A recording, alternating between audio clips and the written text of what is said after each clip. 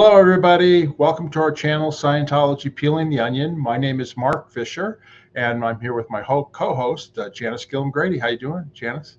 Aloha, Mark, and g'day, everybody. I'm, I'm doing good. Uh, I'm enjoying this great weather that we have. And yeah. my swimming pool is open, and I've been swimming every day for the last week. So That's it's fantastic. good. I would. I just wanted to mention to our viewers, we really appreciate you guys viewing and that we've done a lot of great interviews here recently. But again, please subscribe to the channel if you haven't already, and also uh, make sure uh, we have a guest here. This isn't live, but you know, hit hit us up with questions and comments afterwards. It really helps the channel out when you do that. So I just wanted to mention that. Go ahead, Okay, good. Okay, today's guest is one that I've wanted to interview for a long time. He's a very good friend. I've known him since I was 12 years old. When we we on the Apollo, we sailed into Algeria on our way to going to uh, Greece, where we ended up staying for nine months. But anyway, he came aboard as he learned, he met us as a translator, and he knew nothing about Scientology. And he trained all the way up to Class 8, and he became a very good friend of mine. And we've stayed in touch over the years. And I recently visited with him over in Morocco. Anyway, so let's welcome Belkacem Ferradj. Thank you. Hi, Bill. Hello. Hi, everyone. Hi, Janis. Hi, Mark. yeah, how you doing? Just uh, just let everybody know where you're at. You're actually in, in Morocco right now, right? I have lived now in the city of Agadir since March of 2020 and it is we are eight hours apart. We're ahead so it's about 10 uh, 10 10 p.m 10 12 p.m here. And um, i saw uh, in october of last year i saw janis with a group of uh, friends that i know and that friends that i've met for the first time. And we spent a wonderful day together yeah, we did. Yeah, yeah. Well, that was that was our group. Not everyone in that photo uh, knew Bel, but this photo here. This is the group of us. Two, there was uh, five of us that knew Bel from before. Uh, uh six, six of us. Yeah. Uh, yeah. Oh, Bob's Bob's missing from that photo. Bob Visk. Right. Go ahead. But, uh, yes. Introduce yeah. It was, yeah, so on the left is Spanky Taylor, who we've interviewed, and then Belkacem is next to uh, her, and then next to him in the white shirt is Stu Moreau, who we're in the middle of doing interviews with, and then to Stu's well to the right is Lynn Visk, and then myself and Louise Schechter, and all of us were on the Apollo except for Spanky, and we all knew Bel from our days on the ship. Yep. And when we sailed in and Belkacem met us at the dock with a friend of his who had a tour company. So he met us with a bus and prearranged tours and took us all over Agadir. And Agadir is actually one of my favorite towns in Morocco. I really loved Agadir and Tangier the most, those two. So it was great having him there and him giving us the tour. And we went back to Hotel Modern, which was a hotel that I stayed in uh, for for a month when the ship sailed off to Spain.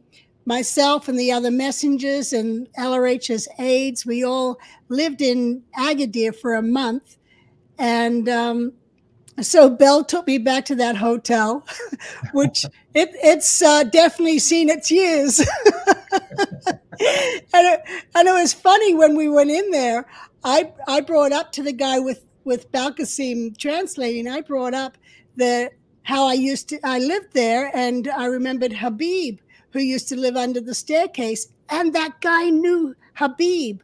And, yeah. and but he uh, he passed away recently. So here I was, like 54 years later, and this guy's not even born. right. he, yeah. Is this he's this foreigner woman who comes in and shows him his plate, tells him this is here, this is here. yeah. Yeah. It, anyway, it, it, was fun doing that. Uh, sure yeah. That's great. You should have Go been ahead, Janis. Bill? Yes, my dear. Oh, okay. I thought you said something. I no, I said the Mark, you should have been here because it was hilarious. The man trying to keep up with you, he did not know what hit him. This woman corner doesn't speak any French or any Arabic, and she's showing him his own hotel and places he'd never seen before.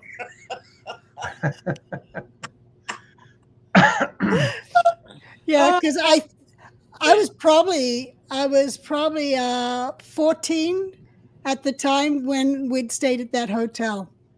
Anyway, so that that was a fun memory. Yeah.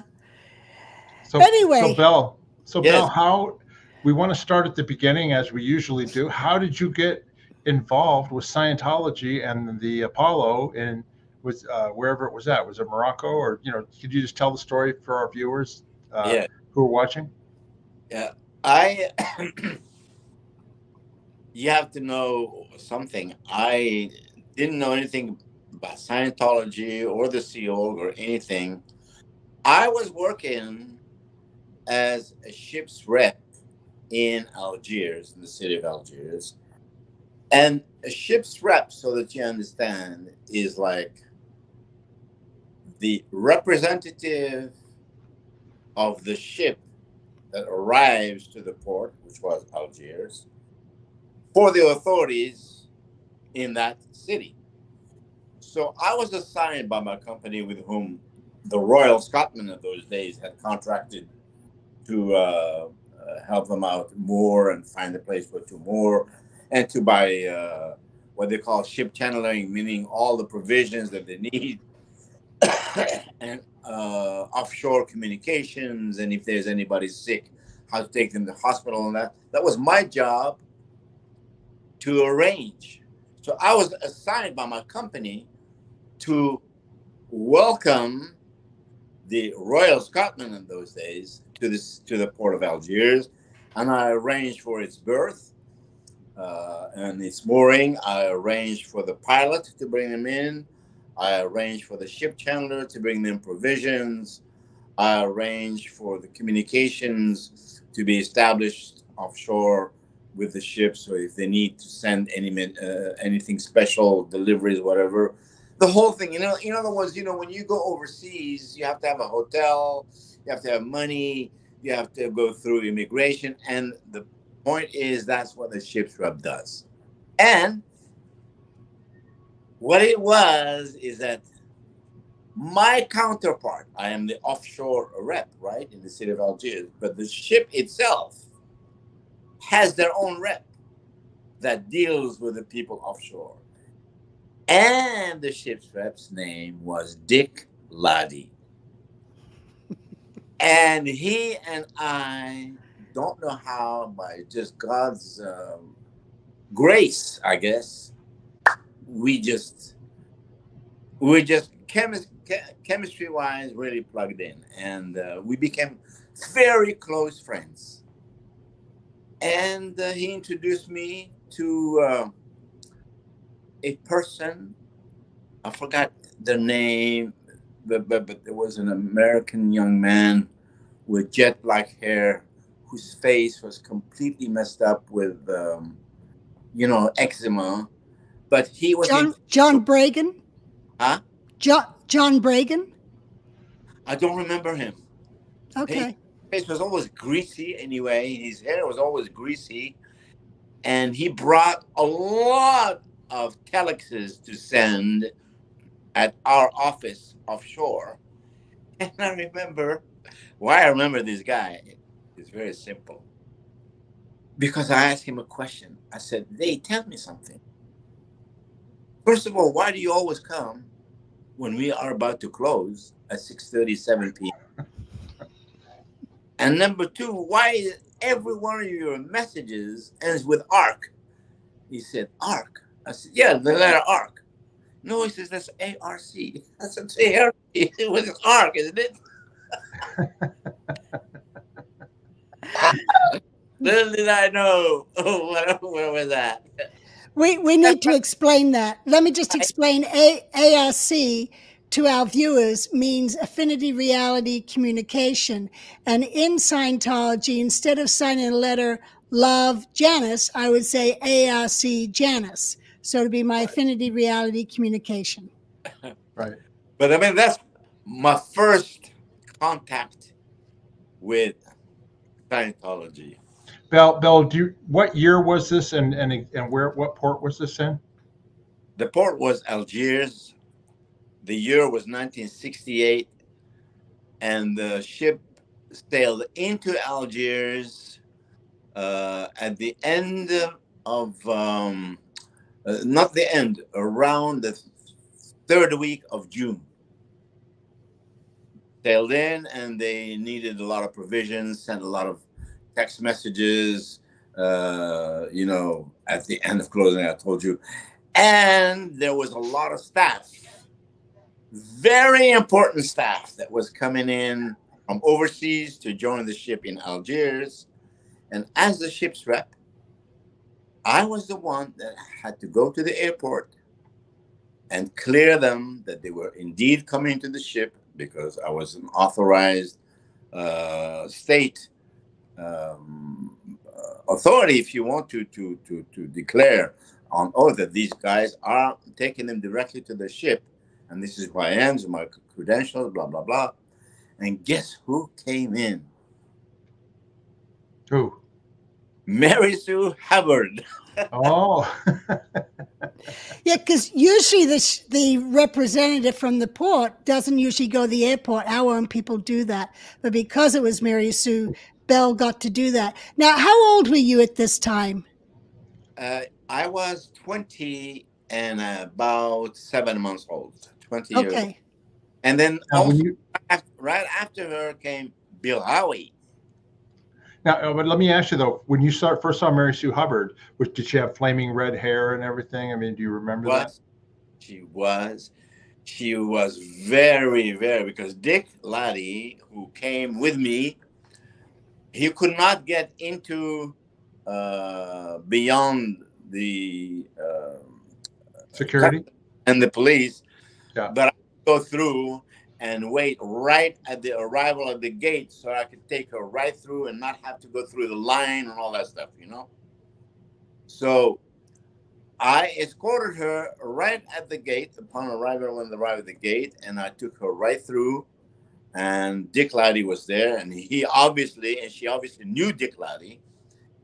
And we came in my car those days. It was a, it was a company car, it was a Renault station wagon.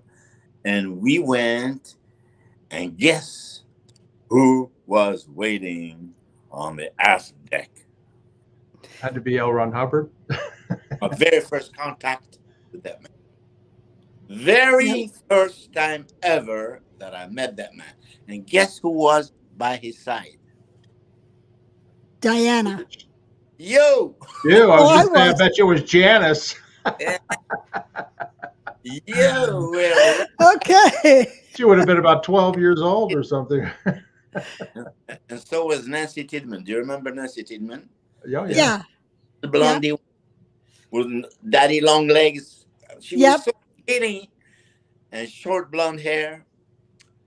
And by uh, you were on, um, if I remember very well, you were on the his left side, and right next to him on the right hand side was Diana and um, little uh, Arthur? Arthur. Yes.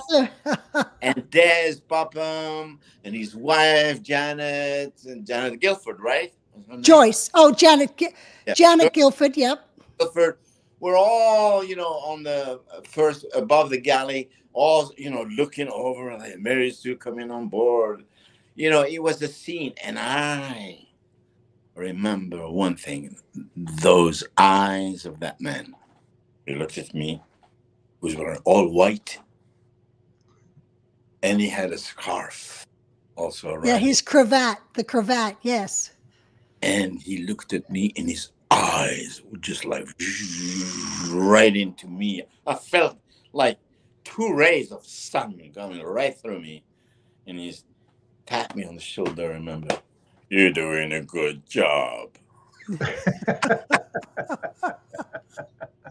and Dick saying to him, Yeah, yeah, yeah, sir. He's our excellent ship's rep. Yeah, I heard all about him. And she said, Mary Sue said, Yes, he was very quick with us. Was everything was perfect. Was, so I mean, I was halfway standing, halfway floating, and I don't know what it was. But that was my very first contact with that man. So that's how I met Ron Hubbard, first time ever, and the occasion. Now, you ask me, how did I ever come in contact with Scientology? I'll tell you. No, nothing about Scientology. During the, all of this time, the ship was needing all kinds of things, and I was practically on the ship every single day, interfacing with Dick Laddie and this with young men that would come at the end of the day with these messages to send by text, uh, telex. Those, text going to Saint Hill. Everything was going to Saint Hill, Saint Hill, or AO, whatever it was, and we don't know nothing about these codes. Anyhow, I looking at the ship, and there's these people some were nice. Some were wearing like gray overalls, all dirty. Some had things wrapped around their hands here, like a chain. No, it was like a like the liability. Oh, the gray rag. The gray rag liability. Some very well dressed. Some like officers, a lot of beautiful women a lot of women officers. Never seen that in my life. Nobody in Algeria or in Algiers received a ship of that sort ever. And everyone was trying to, please, what's that ship? Tell us, what's that ship? What it's all about? I, said, I don't know. It's a school ship. That's all I could say. It's a school ship. And Dick sensed and felt that I wanted to be on that ship. And he said, would you like to come with us when we leave? I said, My God, yes. of course I would. now you have to remember something, or maybe know something which is unknown, is that Algeria at that time was a socialist, pro Soviet Union aligned state. And so, as in every socialist pro-Soviet Union state. It had an apparatus of uh, of security which was very elaborate. So on each and every single ship, right by the gangplank as you go up, there is a policeman and a customs officer with a register, and they register every single one that comes in or goes off, at what time, and, and their name and it was 24 hours a day, three shifts of eight hours. And so now, when I wanted to come to the ship, how am I going to come on board the ship with those people and not go out? The register will show it. So Dick Laddie said, ah, don't worry. Our ship has got side doors. and I told him, oh, okay what we'll do is you know, when they change the guard at midnight and it's dark, I'll be ready. You open the side door, right in.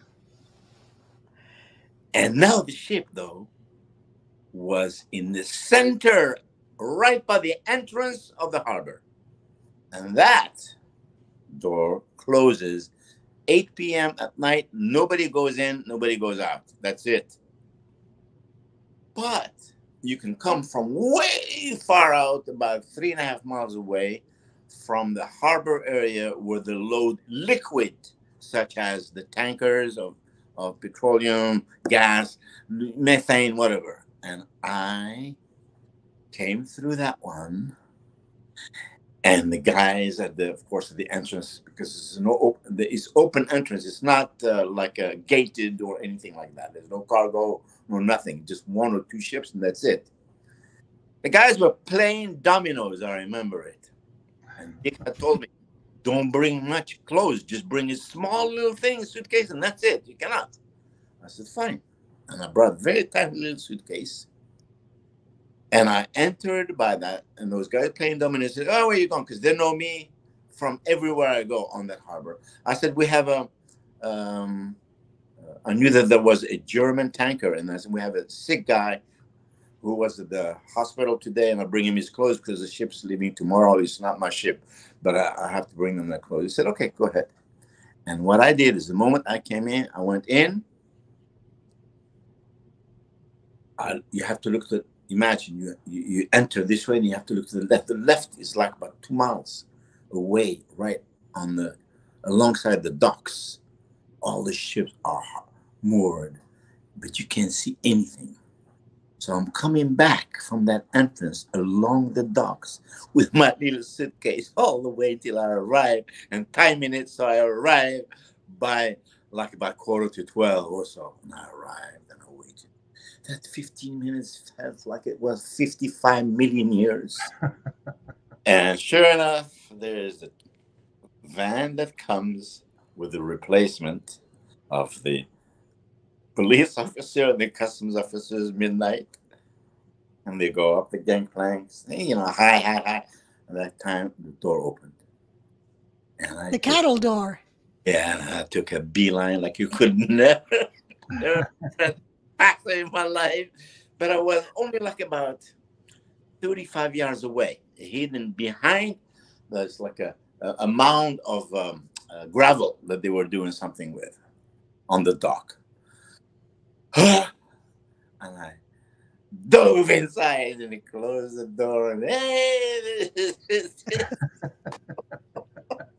that's a that's how you get stowaways. a stowaway. And there's all these guys waiting to look at me coming in. You know, like somebody told them that I was coming in. Obviously, Dick. There was all these people, and I will never remember the very first one who was standing by the door side of the of that cattle door. Do you remember Emeritas? Yes, yes. Long, tall with the with the braided long hair, blonde hair. Remember her? Yes, yes. She actually became Imara Shaw and was she owned the Shaw Medical Center that the Scientologists used. She was the first one to pull me in and close the door and gave me a hug. She never wore makeup, if you remember. She was tall, always with um, uh, uh, tennis shoes. Never wore shoes, just tennis shoes, and always with blue overalls. Very, very unusual, but very intelligent girl. I remember she was yeah. very with me. That's how I came on board, Mark, to answer your question. Okay, okay. Well, here, here, this is a picture of. This is about what you looked at about that time, right? I know this might be later on, but you're that's. It was, was a year later. Yeah. Yeah. This, this you're about 21 years old there this picture was about 20 and a half or no i was this was uh, after the class 8 course the, uh, actually what you see there is my class 8 certificate behind me uh, and during this time i was the case supervisor on board so wow. we need to backtrack a little bit, yeah, because yeah, I just wanted to show. I just wanted to show the photo of what he looked like back then. So, so yeah. what did you do? Did you immediately go into training in Scientology? No, no, is that my my very first encounter when I'm board the ship that was good and great, but I was taken straight to the MAA. Joanne Robertson.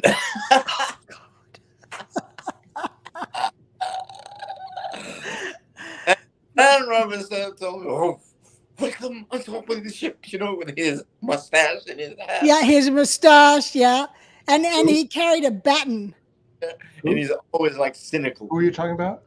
Duran Robertson. The, the he was a Swedish MAA, the oh, ethics oh, okay. officer. I was thinking of Joan Robertson. no, Duran. He was Swedish, no relation. He asked me sign a document in order to be admitted on the ship and to be part of the crew. And I said, What's this document? And he said, Hey, read it here. And uh, it was the Sea contract. And one thing that hit me was billion years. Billion, billion years? With that. Uh, what is it talking billion years? it says billion years here. Billion. What is billion? He says, just sign it. If you want to stay on the ship. And you did. I said, I'll sign it. Little did you know what you were signing up for. no, but the point is, I said, these crazy. I knew these guys are crazy. Will is a billionaire? I said, okay. If that's what keeps me on the ship, I'll sign anything. Now, did you work in the port captain's office at that time? And after, after, no, after after I signed the document, they took me to hole number two. Oh. There okay. were going on still past midnight, and there were classes still going on. Uh, there is they told me to just sit there and stay there a little while. Now, don't forget, this was the eve of the departure of the ship. And the rule is the ship's rep that entered the ship into the harbor is the one that will arrange for its departure. That means will make will inform the, the uh, police authorities, the customs authorities, arrange for the pilot to pull him out, to bring the tugboats and the whole thing. And Mr. Bel was not there next morning. Where, where no, you're you're stowing away. and I never missed work, but, but this this the reason why I'm mentioning it because it caught up with me in 1970. And I oh, would okay. later on how, how that caught up with me. Okay. So I was in there, and I was told um, by um, uh, the MAA and by Dick and by some other people, and oh, Joe Van Staden, to please kind of like stay away from sight because we were leaving the next day and they did not know if anybody was going to be making up maybe final rounds or anything like that. So they hid me behind where there is all of these stacks of uh, um, the, the life vests. All the life vests? That were spare, that were spare right by the, uh, the supercargo area and I was hidden there until actually I could hear that the guys, you know, moving the the ropes and all that stuff. The, the ship sailed. Then they told me it was like about 10:30, 10:35 in the morning the next day. I didn't sleep. I didn't close one eye. And then they took me up to the poop deck and in the poop deck, the whole crew was there. And I was brought like, here's the here's here's our package. Everybody is like Oh my god. I will never forget that sight. And I was assigned right that day to work with Dick Laddie in Division 7 as the ship's rep and translator on board to be the assistant to Dick Laddie. That was it. So now where are we sailing? sailing to Bizerte, Tunisia. Yep. And who is in Bizerte, Tunisia? My sister. Oh no. Yes, and I was afraid that maybe somebody from Algiers, the authorities would say, hey, there's somebody missing, they might be on the ship when we arrive to Tunis. You know, they're close countries, close friends. They could look and all that stuff. So I was told, and I'm gonna told the story to Dick. He said, "Hey, you don't go to see your sister. You don't do anything. You stay on board." And they put me way up in the front with that little teacher, Swedish Anderson, you know, in that little nursery. Yeah, with the daycare, with the nursery was Yeah. in the forecastle. Yeah. Stayed for maybe like about six or seven hours. That's it. And then we sailed. And we sailed straight to Corfu.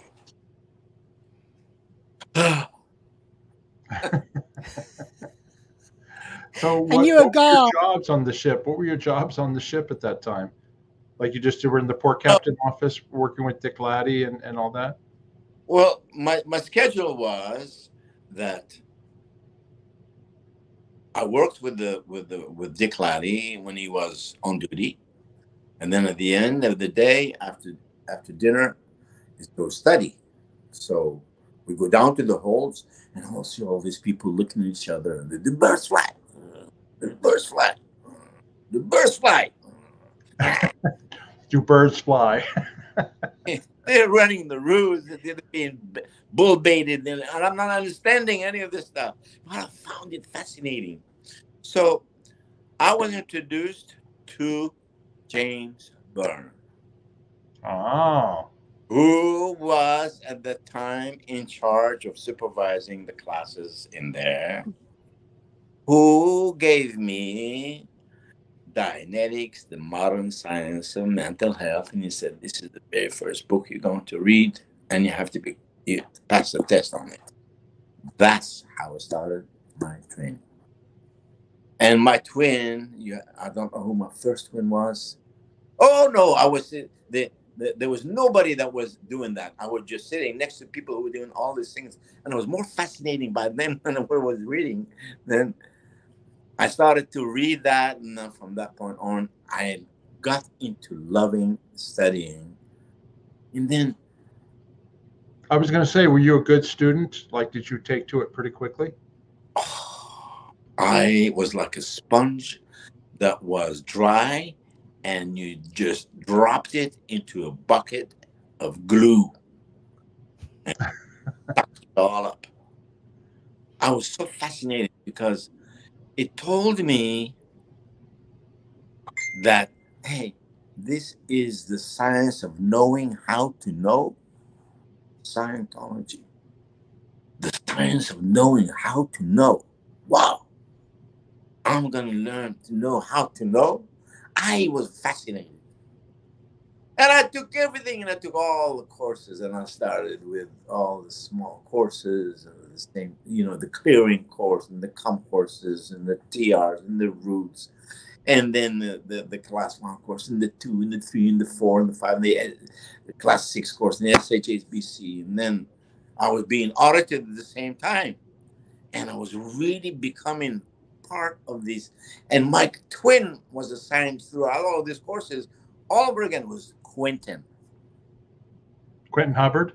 Yes, and we went, he and I, we went all the way through to the class eight as twins. We graduated together. Well, I was going to say, were you a full time student? I mean, that's that's a lot of study uh, to do all of that. They took me off post. I was a top, top student. I was just nothing but a student. And I was with him doing nothing else but that, and also learning how to audit, becoming an auditor. And I started to audit, and I started to audit, and take courses, audit, and take courses, and that's all that I was doing. and my job was an auditor at the same time. It's not I was doing I nothing. see. And uh, that's how it was. Yeah. Janis, tell, tell everybody what this this had to be early on, right? Yeah, this was It- early on. Birthday. This was a birthday party for Ron Pook, I believe, or What, somebody. for Ron Pook? I don't know. I, I think don't it down for I- and that. Something was there about uh, about them. No. yeah, I don't remember what it was, but but in that picture, that's um I'll go from the left, bottom bottom corner left behind the pole. Yeah. That's Bel that's Belkacem Hey, I'm In, sitting in the white shirt, in the white shirt, in right? the in the white shirt. Yeah. floor. Yeah. Yeah. So that's Bel. And then if you go to the people who are standing up and saluting, in the front row on the left is Annie Tidman, Annie Broeker, and then in the middle is Sharon Stainforth, and then on the right that's me, Yeah. and then behind me in the dark sweater and the hat that's Norman Starkey. Yep. Next to a him to black- the left, uh, The black hat. yes, Yeah. yes, and next to him in the back with the beard is Dave Murphy. Right. And then next to Dave on the left is uh, Nikki Friedman, Nikki Merwin. And her- There's there's um, decorations cutting off her face, and then um, on the very left is um, Dan, uh, Alan and Virginia Capula's daughter, um, I don't remember. na- Deanna. Deanna. What was that, Bill? Deanna Reeves. No? No, Deanna Ross. Deanna Ross. Or because Yeah, I remember Deanna. I remember her. yeah. She, she lives in. Oh. Pardon? She was related to Peaches Pook, no? Yes, yes. Yes. Peach's sister. Yeah. Peach's younger sister. Yes, She was from the Athena and they came over. yes, yeah. Yeah. And her parents owned the uh, Reno Scientology mission. Yeah, she's still in touch with me, you know? Yeah, I'm in touch with her. Uh, yeah, she's up in Reno still. Yeah, yeah, yeah. What were y'all doing Yeah. there, Janis? Were you singing to L. Ron Hubbard for his birthday, or what, with the salutes and everything, or what? Yeah, we were singing to him. I'm not sure what it was for. It was a birth- Um, birthday. I don't know whose birthday it was. I don't think it was. I don't. Yeah, you were there, so that means it was him. yeah, You, if you two soldiers, bodyguards were there, that means it was him. well, the three the three people in the front, all of us were messengers. Myself, Yeah. Sharon, and Annie. Yeah. So Yeah, uh, you and Nancy. Yeah, so maybe it was. Uh, Well, I don't even know if you were a class eight by this time, or No, no. if it was. You weren't. Not yet, not yet, not yet. Almost, Yeah. almost. So, so this would have been between July and December of 1968. Yeah, I was in some sort. Of course, I, I am one hundred percent sure because, as you can see, I have civilian clothes. Yeah. Yeah. Yeah. Okay. So let me ask you, Bel, what was it like? Uh, do you remember your interactions with Janis at that time when she was just a young girl? Uh, actually, we didn't have much interaction except for uh, greetings because um, I didn't have anything to do uh, with any anything with the people that she uh, was in. Like the ship, like the ship things or management or that type of thing, right? Janis? He was Janis at the time was the running arrow, going up and down, running, and always with something. Or, or she would stand in front of the person that she needed to, to say something to, and she would deliver it, uh, you know, in a military style, and turn around and gone. You know, that's it. and I didn't have much interaction with her, but I would really began to have some with her, but politely from far distance when I started to be an auditor in the class 8 course. During part of the class 8 course, uh, when you're taking the course, you have to audit a lot of people on the processes that you learn in the class 8 course. And you take the folders to LRH, and she was always standing by the door of the entrance like a bodyguard to the office. Do you Yeah. remember this, Janis? She had the Yeah. chair, which was wide. because she would sit sometime on it. There would be you could sit three of Janis on the chair that she had. And she sat there and you know, she was always politeful and courteous. And those were the very first few times I began to interact with him. Just when I take the folders, he would CS them for me. He would make whatever comments we'd make and then give me the next set of instructions. Woof, I was gone. I got to interact with Janis later on, not in the same circumstances. okay. we'll get to that part. Now, what about now you, you mentioned you mentioned when you first met Hubbard uh, and Mary Sue when on the ship. Do you remember early interactions with L. Ron Hubbard, like when you were a student, or since you were training with Quentin, or anything like that? That Quentin was Hubbard's son. No, I started to become a person of interest to him only during the class eight course, and prior to the class eight course, on some of the other things that we do on power processing. The case supervisor, the CS was Otto Roos and he had assigned me some uh, uh, PCs to run some um, R3Rs uh, on, on them as part of the uh, processes, and they were so so so so happy. He made a special note that this guy is always getting very well done, very well done. So I got called for the very first time, and that's why. Uh, who who put me in the class eight course was Edwin Hubbard, not not anybody else. He called me in and he said, uh, you know, very good reports. You know the way he talks. You're auditing. And, uh, I think you ought to be doing class eight course. I said, okay. what, what I to say? That was it. And then the class eight course, top best auditors were put into it, and the others had to be some had to be retrained to join again, and then started to come at the same time. All of these VIPs from overseas, and that's how I met Mama. Rest in peace. yeah. Now, hey, I was going to ask you when you're on the Class 8 she came the same time as Alan Walters. Same day. Right. John McMasters had come earlier, about two or three days. And then started to come all of these VIPs from all over the place. You talking? You didn't mention her name, Janis. So, so you're talking about Janis's mother, Yvonne? Yes. Yes. Yvonne. Yeah, they were on the class eight course together. Okay. She she.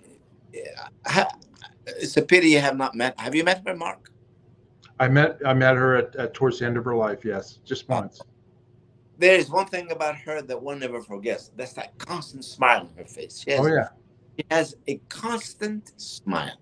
The warmth is what I remember. You know what I mean? Oh. Like you didn't even have to. You you just felt. You know you know what I mean by warmth. Like yep. just her presence when you were in yep. the same room is just like yep. wow. You know beautiful set of lips that were full and warm cheeks, short hair.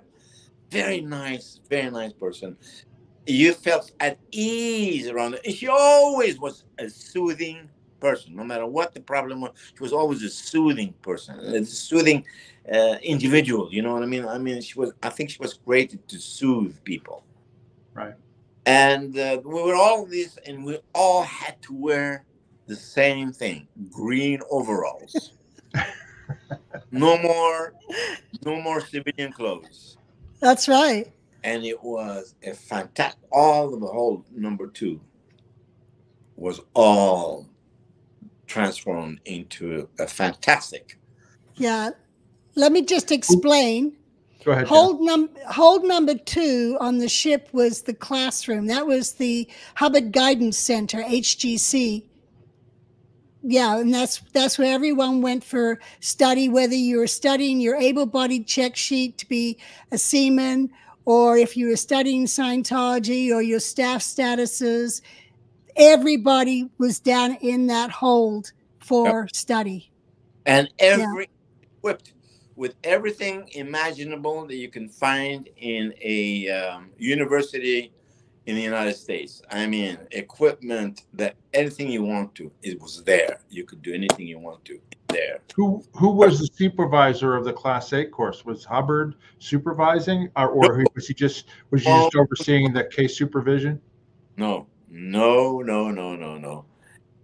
In the early days, you know, there was people. Among them was was still, believe it or not. Um, James Byrne. But those days was only the beginning of the class eight course was nothing but lectures at first. So James Byrne and a couple of others. I don't remember who they were. They were just to walk by to make sure that you didn't. If you nodded off, that means you passed misunderstood. They wake you up and they make you go, "Hey, go back," you know. Right. and uh, uh, then there was uh, immediately the class 8 course was doing nothing but auditing on each other. So it's not something like courses where there's lectures and you sit there and he's there and it gives you like the SSBC or the others. No, or the clinical. No, no, no. It was not like that. It was auditing. The, the orders would come from the messengers. It would be brought, and the folders would be brought, and the qual people would bring them down. Rod Totten would bring them down. Um, uh, Deitch, Bill Deitch will bring them down. Um, the, Bill Howie. Yeah, yeah. Uh, Irene Dunleavy, we, we, used to, we used to also sometimes bring them down. And we just had sets and then we'll be given, okay, you you go audit so and so, you go audit so and so, you go. So it was that's all that it was. Where was the auditing done? Did they have auditing rooms or was oh, it in the course room? Where everywhere and plenty cabins. Plenty. People's ca- people's cabins were oh, okay. Plenty used for auditing. And and and it was wonderful because you take you know the auditor the the the the, the pc they were not pcs some of them some of them were ots you audit you do your report you take i mean you audit you take the person to the examiner you do your report and then you get the ticket, and you get to be graded by that the interaction daily interaction with lrh on that but did now go ahead janis go ahead Bel, my mother if she didn't get a well done or a or a very well done session. I remember her having to all the any of the class eights go being thrown overboard. So I remember her being thrown overboard once for a session that wasn't well done. Yeah. Did you ever get uh, thrown overboard? Yes, once. Yeah, once. I got once too. and John McMasters, the poor guy, also. John McMasters to be thrown overboard was really a heartbreak you know he didn't land very nicely and he was very hurt it was humiliating to him. But i was not thrown overboard because of the class 8 oh why did you go over? I went in insubordination and, and ordered by uh, what's his name? By joran robertson. For insubordination. Yeah what were you insubordinate about? I don't know. I may have told him to go a hike. I don't know. I don't remember. To be honest. Let me you. ask you. But yeah. Bel, because uh, Bel, uh, what about did, did I don't know. I know, like you mentioned on the briefing course, Hubbard gave lectures and things like that. Did he ever give lectures? I know there were class eight tapes. Where, hmm. Did he ever give lectures? And like, did you guys sit in on? Yeah, he was giving I, lectures. He, yeah. he, used to get them all done during the, the time that uh, in his office and he was staying up so late. I don't know if yeah. you remember, but he was doing all of these lectures from the auditing, and he would give specific cases that we did that day. That's right. But what happened? He we would set up the B deck dining room, which was the officers' dining room. Everything be moved aside, and that was all set up and tables set up with recording equipment. Bill Howie did the recordings, yeah. and LRH would go down there, and all the eights are sitting there waiting for him. And as the messenger, I had to make sure that there was no noises around the ship that would interfere with the lecture. Yeah. And I got I got you some payback to Joran Robertson because I remember Joran and um, Bob James started wrestling on the A the A deck to B deck stairs. And I quickly ran over there and had to tell them to be quiet and to knock it off they would like play wrestling while the le- class eight lecture was going on. And then after the lecture was over, Hubbard says to me, What was that noise that was coming from the stairs? And I said, Oh, that was Joran and Bob. And he said, Throw them overboard. so they both I remember, I remember that. I was so happy. I remember that. Yes. remember that because it was payback. Yeah. Yeah. Let me ask you, Bill, what what was it like sitting in a, a le- live lecture with L. Ron Hubbard? What was that like? Huh? What was it like for people who've never experienced it? What was it like sitting in a live lecture with L. Ron Hubbard when he's giving a lecture like on the Class 8 course? What, what's it like? Okay, let, let me tell you. Um, first of all, he did not come down to give a class 8 course to us. He, lay, he gave the, the lecture in front of his staff. It was, even though it was addressed to us, mm-hmm. was relayed to us. He would come once in a while, maybe to talk, to talk to a group of us from his deck. He would never come down. He would maybe say something like that. He used to call people over to him. But let me tell you what it was like to be one on one with him while he is CSing your folder. Go ahead. you know, I don't, that man, I don't care what anybody says. I don't care what anybody says. Really, honestly, from the bottom of my heart, that man had the power to absorb written material like if it was he had 100 eyes. He could read pages of notes taken during the session very quickly and find out what's going on you know? That's if the orator was good. If there's no notes then the orator would be in trouble. If there are very little notes the orator was in trouble especially if the session was an hour and 15 minutes and there's like one page and a half forget it. But I remember what it was like to say, see this? Look at this. This is the same question asked of this PC to this PC. The answer is this one should be this one, and this one didn't give it. What gives? he would get very, very alive, you know. And when he gave you a, a lecture about anything, that person has enigma in his face and like also has what do you call those things uh, that, that attract uh, steel and sticks to like it? Like a magnet. Magnet. It was magnetic in his face and his look. You looked at him when he looked at you you looked at him or you were you know uh, fidgeted stop like that. You couldn't very strong powerful person. His delivery i had lectures from him about not the class 8 course only. I had lectures from him about his past and I don't, I don't know how to explain it to you, but you can be standing there 48 minutes, 50 minutes. It was as if it was two minutes.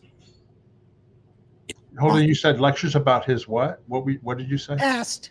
His own past, his own past life. Oh, his past. Okay, his past. Yeah, okay. yeah, yeah, yeah, yeah. I mean, you stand there, you sci-fi movie.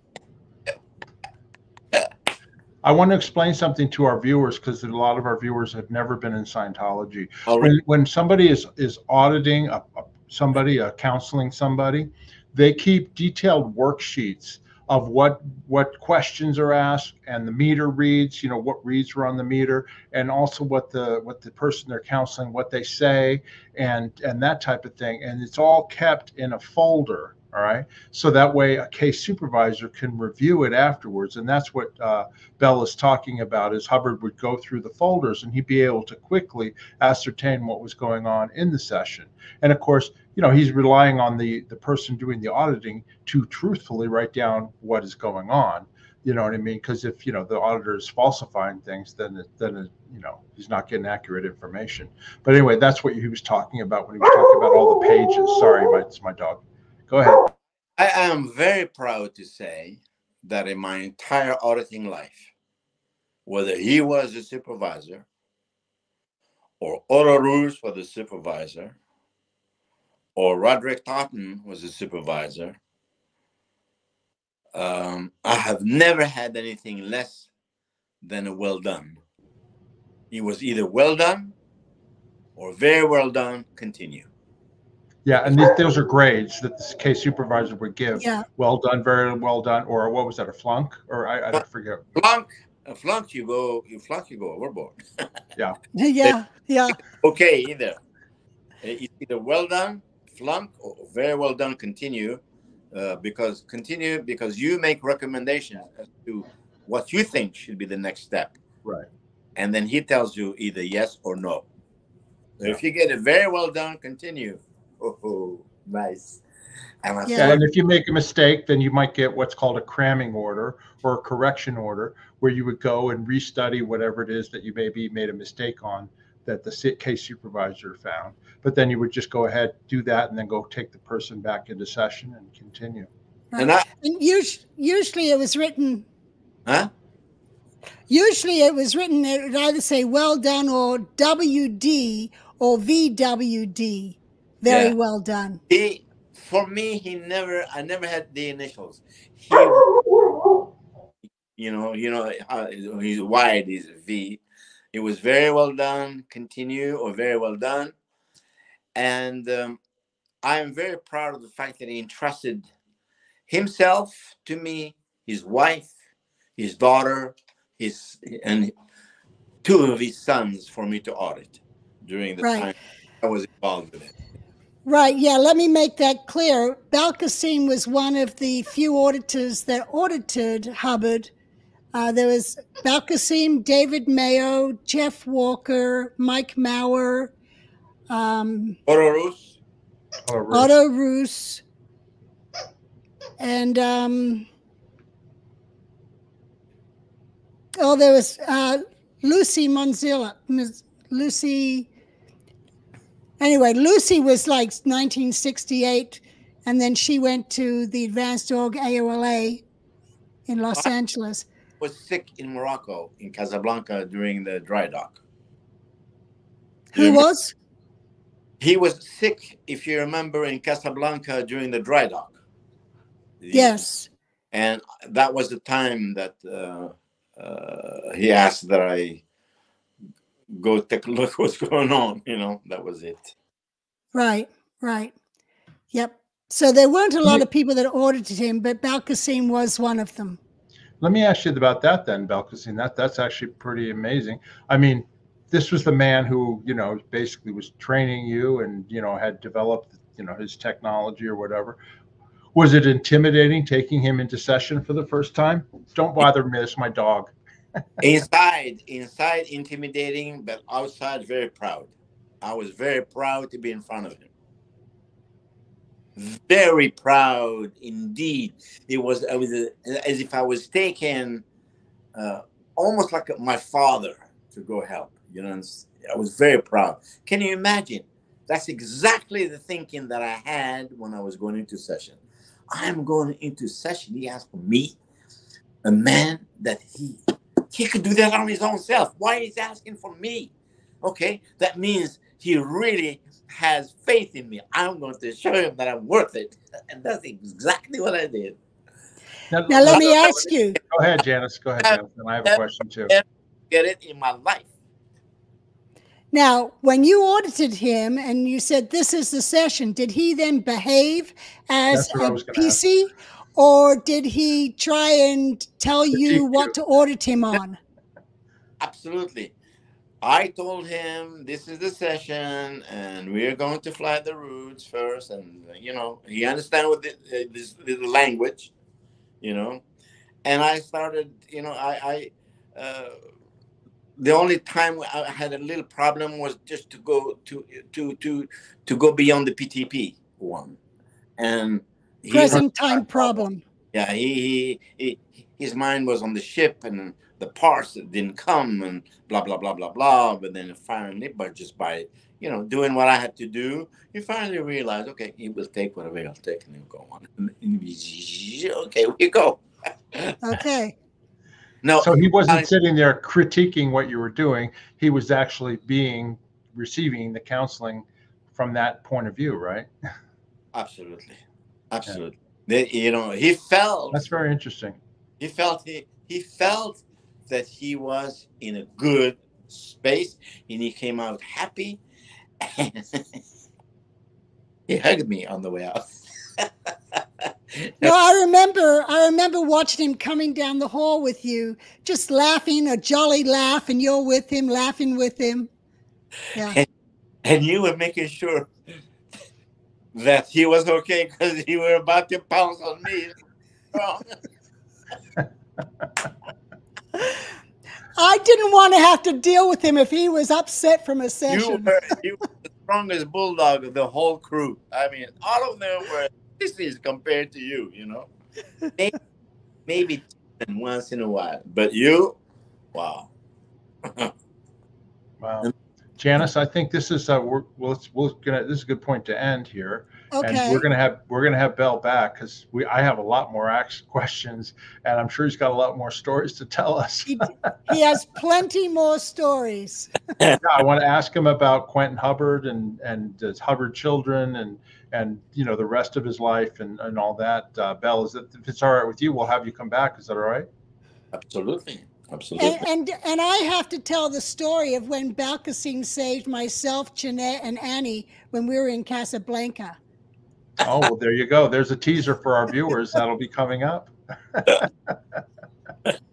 anyway, I want to thank you, Bel, for this first first interview. We're going to do some more with you as well, but uh, and and we really appreciate you being here. In the meantime, I just wanted to tell our viewers that please subscribe to our channel. Just hit that subscribe button, hit that like button. And then, as I mentioned before, if you've got any questions, just ask in the comment section, and we'll ask Bel about them. If you've got questions or things that you'd like to hear about, just get down in that comment section, and uh, we would really appreciate it. And then also, if you want to support our channel, you can buy us a coffee. It's a way to donate to the channel. You go down into the description. There's a link there. You click on it, and you can support us there. Um, you know, we really appreciate any support that we get from our viewers. The, the other thing I wanted to mention too is Janis has written two books about her time working for Hubbard uh, in the Sea Organization. Commodore's Messenger, Book One, A Child Adrift in the Scientology Sea Organization, and then the other, the second volume is Book Two, of course, and it's uh, Riding Out the Storm with L. Ron Hubbard, and those are pictures of Janis with L. Ron Hubbard when she was one of his messengers. And both of these books are available at our merchandise store. You just go down to the store button, click on it. You can get autographed copies from Janis. She'll personalize the autograph, and then she'll ship them to you in the United States. Um, they'll- you know, you pay for the shipping and all that, but they're available there, and you'll get more details of a lot of these stories about being on the flagship Apollo with Hubbard. And then also you'll see there's photographs and diagrams and things like that. So if you're interested, please buy the book, and I think you'll enjoy it. Janis, have you got something else you want to say? No, Bel, I'm loving this.